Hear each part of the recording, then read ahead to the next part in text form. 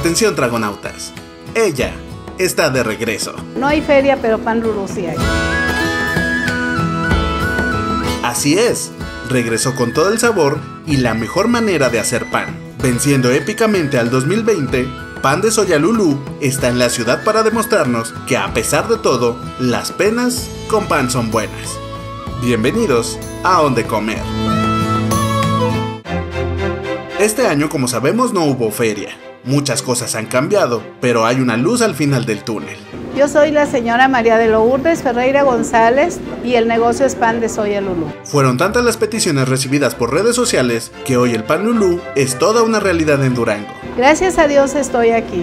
En las condiciones que vengo es porque me hablaba la gente por WhatsApp, por, me hablaban por Face y me decían, señora Lulú, queremos su pan en Durango. Son tantos los años que he venido a Durango que el agradecimiento que les tengo es mucho. Y dije, ¿por qué no?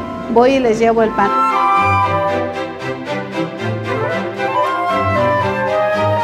Somos afortunados porque en 2020 Durango es el único estado que hasta ahora ha probado el pan de soya Lulú. Es el primer estado de Durango que es un estado muy querido por mí. Vengo con toda la voluntad del mundo, con todo el agradecimiento a Dios y a la gente de Durango y vengo a dar lo mejor de mí. El pan es lo mismo. Tenemos seis rellenos. Eh, puede ser manzana con nuez, puede ser membrillo con nuez, guayaba con nuez, manzana, coco y nuez, cajeta de leche con nuez. La harina del pan es harina de soya, harina de amaranto, amaranto en cereal y salvado. Lo que le ponemos encima es una mezcla que hacemos de leche de soya con harina de amaranto. Estamos en un local chiquito porque como no vengo por mucho tiempo es muy imposible encontrar un local más, más cómodo y más grande. No hay quien lo rente por tan poquito tiempo. Pero si la gente me responde un mes, me estoy un mes. Si quiere mes y medio, me estoy mes y medio. Yo vengo para servirles. Están tomando todas las medidas de seguridad. Tapetes sanitizantes, el gel para que no lo toque la gente de pedal.